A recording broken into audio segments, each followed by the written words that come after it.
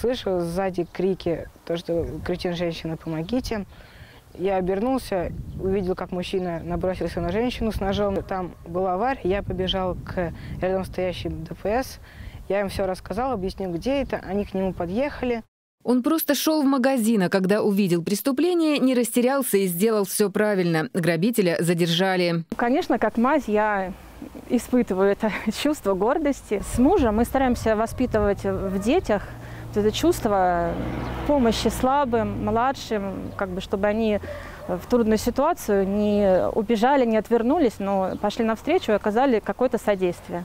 Даниил учится в девятом классе и, вероятно, еще не определился окончательно с выбором профессии, но то, что он вырастет настоящим человеком, никто не сомневается. Дани, который способен совершить, ну, я бы сказала, подвиг. Не боится пойти на помощь незнакомым людям, я считаю, что он очень смелый. Когда мы узнали о том, что наш ученик Даня Колжиков совершил такой поступок, это вызвало разные эмоции положительные, кроме удивления. Это вот ребенок дело. Сконцентрироваться, не растеряться и вообще подумать, что сделать в такой ситуации. Он на это способен. Не растерялись, сконцентрировались и пришли на помощь. 14 мальчишек и девчонок из самых разных уголков нашей страны. 1 июня, в День защиты детей, их лично поблагодарил глава МВД Владимир Колокольцев.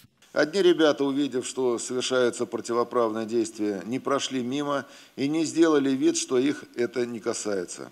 Другие подростки помогли найти пропавших людей. Третьи вышли на след тех, кто распространяет запрещенные материалы в интернете и сообщили об этом в полицию.